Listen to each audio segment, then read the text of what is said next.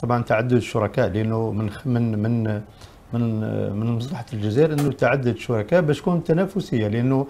طبعا السوق لما واحد يحتكره راح تشوف طبعا عملية احتكارية موجودة بالسوق ولكن بالمقابل لما تكون طبعا عدة ماركات عالمية على الأقل أربعة ولا خمس ماركات عالمية راح نشوفوا آه، منافسة شديدة وهذه المنافسة من شأنها طبعا تخفض الأسعار في المراحل القادمة لأنه لما تكون طبعا واحد شريك واحد يفرض طبعا الأسعار اللي حب ولكن لما تكون كاين منافسة راح تعطينا طبعا أكثر سواء لاختيار نوعية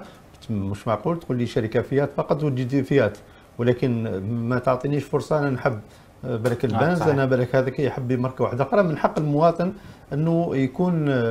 يكون عنده الحرية في اختيار نوعية السيارة. إلى جانب طبعا